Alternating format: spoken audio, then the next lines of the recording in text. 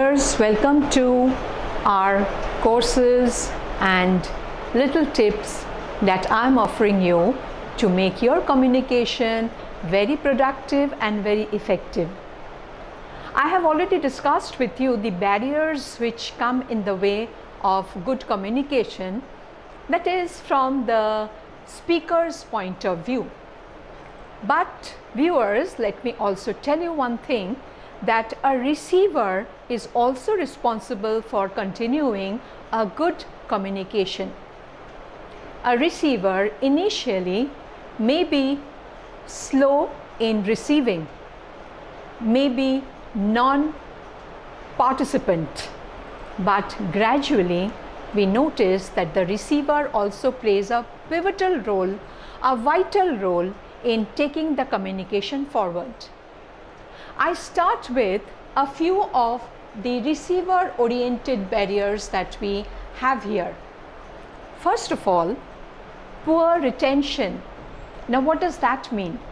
It means that the receiver is listening to the speaker but cannot link to the previous concept because of poor retention. He or she is forgetting.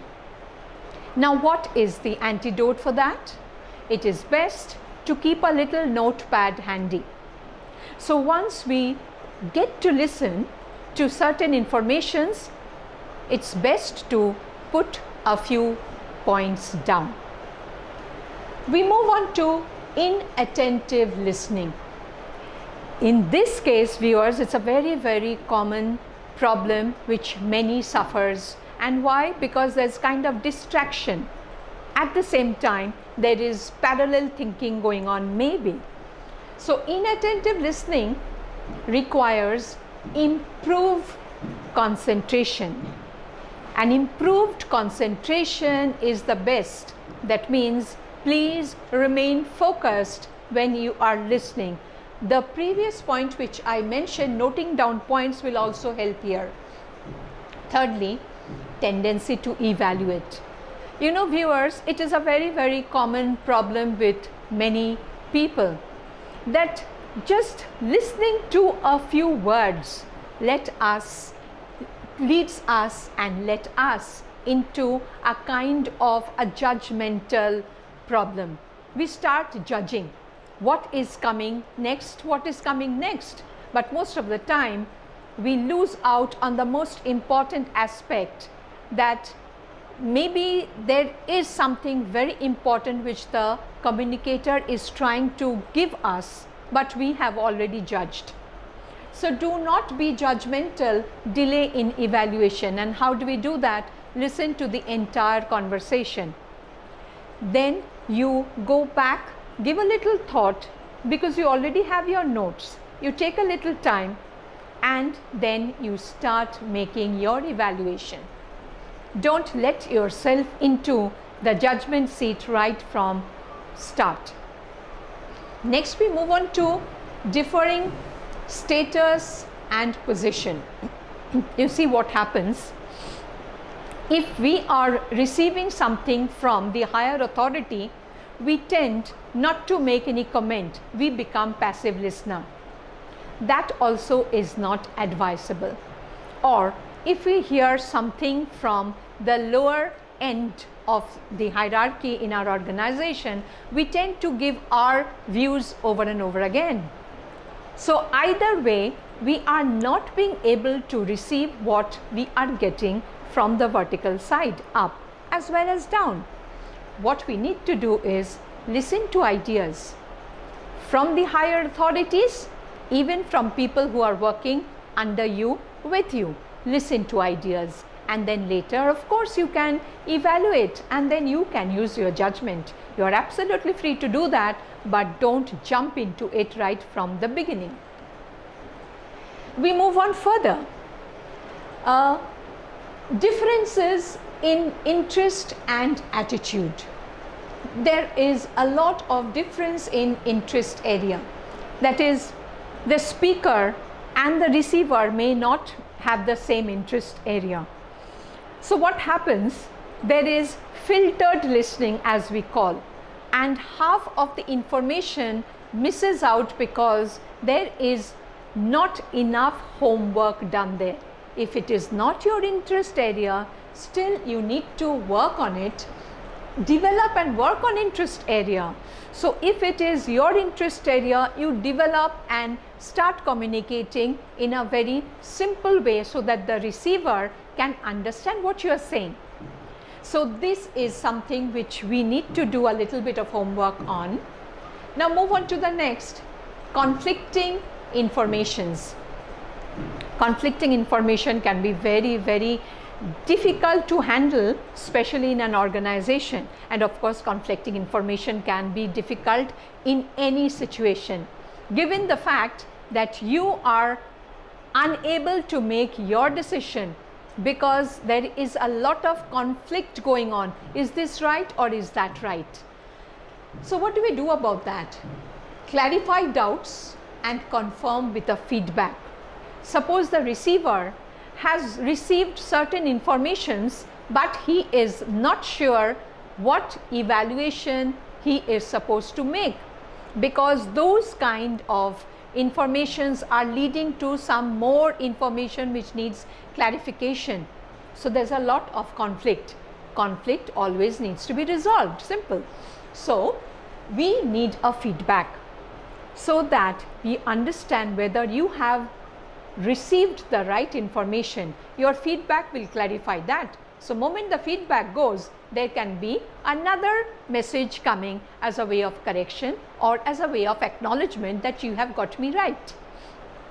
Next, resistance to change. This can be a big problem. This of course is related more to personality, ego which I discussed in my previous presentations.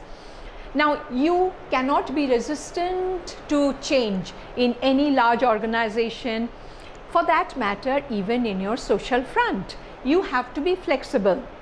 That means the best way is that you understand and try and find out what is good in what has been given to you. Will that help your organization?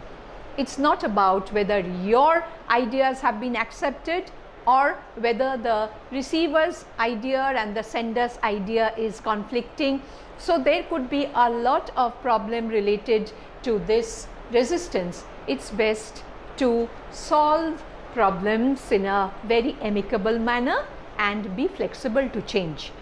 Lastly, refutation and argument. You see what could happen when you are resistant to any kind of changes, you might lead to a kind of argument where you are closed to any kind of uh, accepted facts which could help your organization or which could help you. Certain accepted facts which have been taken for granted, but you are coming in the way. You are not allowing people to take it forward. You put it this way that you don't want it. Now that could lead to an argument. Maybe the other side, the uh, sender would be under the impression that this was an accepted fact, but you are resisting it. So that could lead to argument, that could lead to angered and heated exchange, which will totally spoil any kind of chance of a good communication. So what we need to do, have a healthy discussion. Moment you find that things are getting out of hand, moment things get out of hand because you can only control yourself, you cannot control the other person immediately turn it into a healthy con conversation and you can always postpone it for a later time in a very very prudent manner because if anger escalates then that will be the end of good conversation. So be a little prudent as well and carry on with a very healthy conversation. well, I was talking about the receiver so what has the receiver to do? Listen. Receiver has to listen. I have some very good uh, speakers and writers giving their view on listening. Simon Sinek wrote There is a difference between listening and waiting for your turn to speak. How right this is, especially when you are in a panel discussion or suppose it's a group discussion or for that matter it's a kind of a board meeting students gathering you have various scenario where you get your chance to speak but before you speak you have to listen.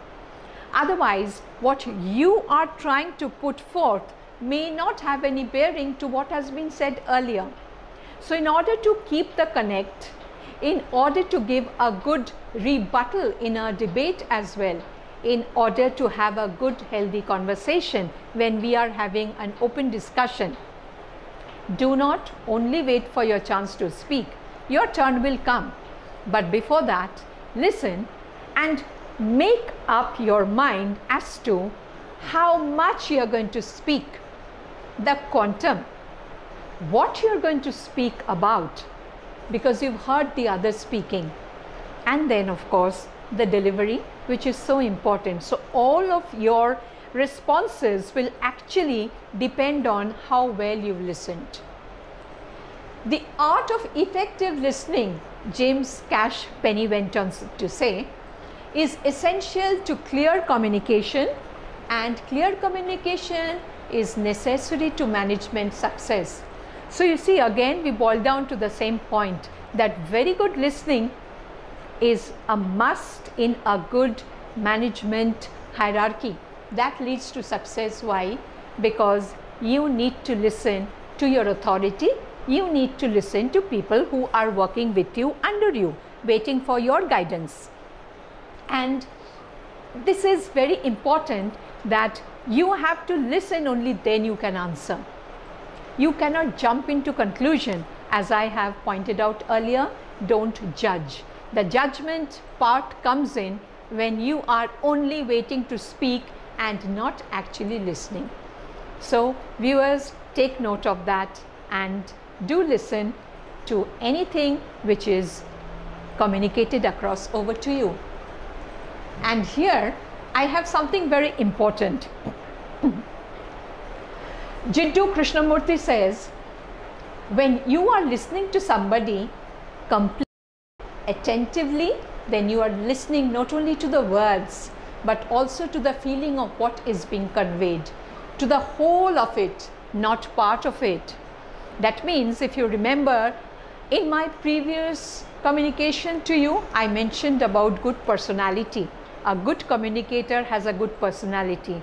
So, when we listen to somebody, we are actually getting a preview of the person's personality as well. And accordingly, you can also prepare yourself to communicate with the person that you are going to have the next conversation with. So it's not a part, only the speech, it's the whole person that we are talking about. That's the actual paraphrasing and meaning of this beautiful quote. Thank you.